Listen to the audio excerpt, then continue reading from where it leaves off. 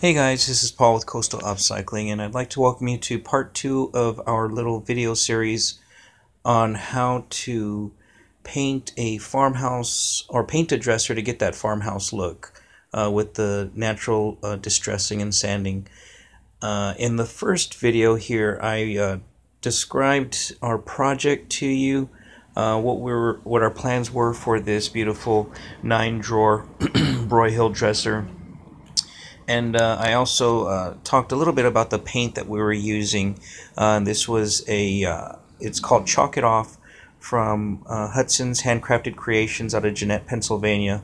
A very cool uh, mineral paint that we were able to use. So, and I think the color that we used is called Evening Sunshine.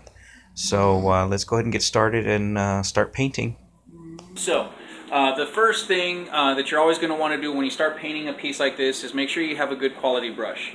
Uh, this one I've used for about a year now uh, and it's still almost as good as new. I, I try to take care of it as, as best I can um, which means I wash it and I clean it which is much uh, much better than what I used to with some more brushes but this little 2 inch angle cut-in brush maybe seven, eight dollars at Home Depot, uh, Lowe's.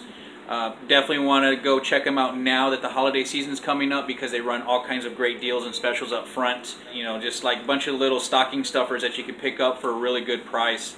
Uh, definitely would uh, load up on these uh, if you have the opportunity. So I went ahead, uh, the paint as it comes out is very thick, which is a good thing. it's going to have really good coverage. Um, this is actually going to be my first time using it, so it was a little thick for me, uh, so I went ahead and diluted it with just a tad bit of water.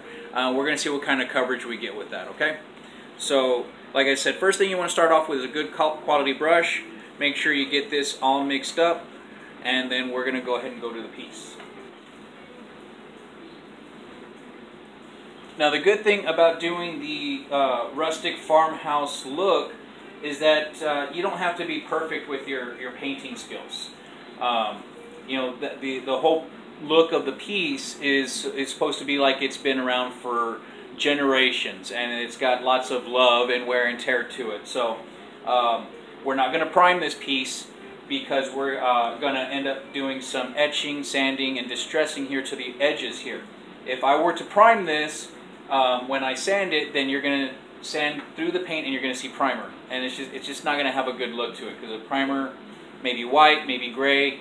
It, just it won't look too good. We're just going to start getting some paint on it.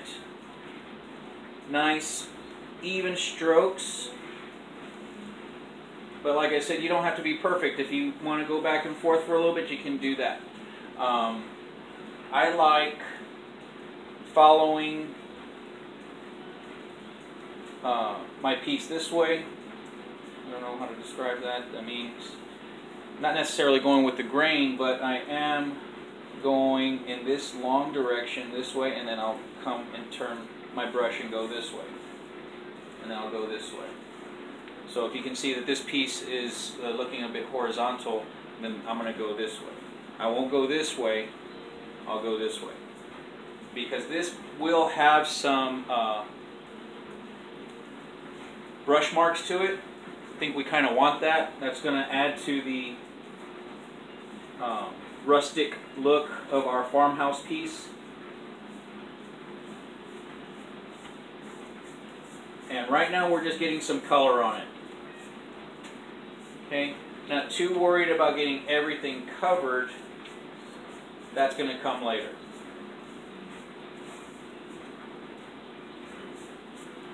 Okay, so we'll keep on going with this process and then we'll check in with you in a little bit. All right, thanks. Okay, so here we are, one coat on. Uh, if I come in a little bit closer, you get to see, you know, how much we just went really quickly over the piece. Um, you can still see some of the uh, wood back behind our paint strokes. You can see our paint strokes are a little bit all over the place. There's a couple of uh, ways to finish this. You can be satisfied with the way it looks now and put the hardware on and it'll look great. Uh, it'll definitely have that farmhouse look to it.